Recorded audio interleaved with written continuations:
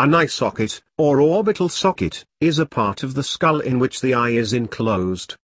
Structures such as the lacrimal gland, the optic nerve, and muscles keep the eye and the socket functioning properly.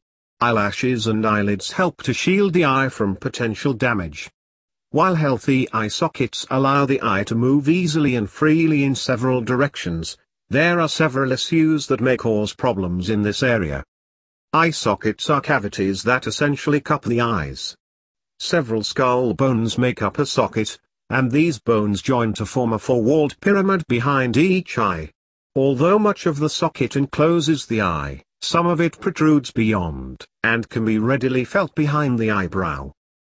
The lacrimal gland, which is where tears are produced, is also located in the eye socket, as is the optic nerve, which connects the eyes to the brain.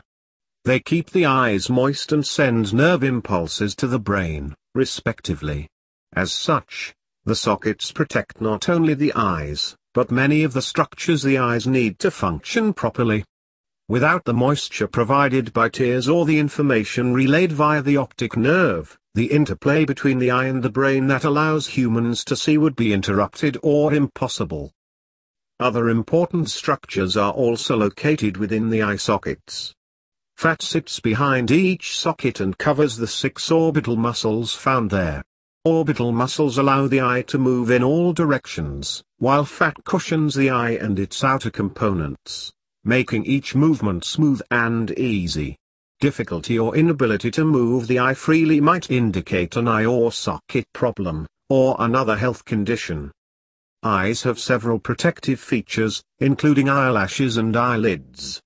The eye socket, however, is the only bony structure that protects the eyes from damage.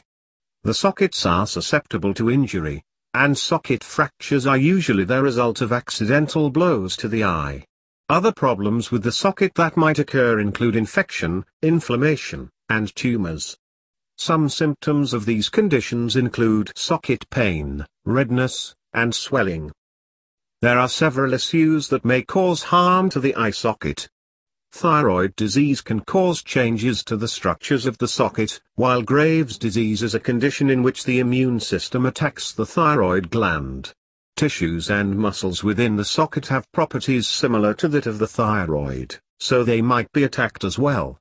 This can cause inflammation and the buildup of fluid inside the socket, forcing the eyes to bulge outward,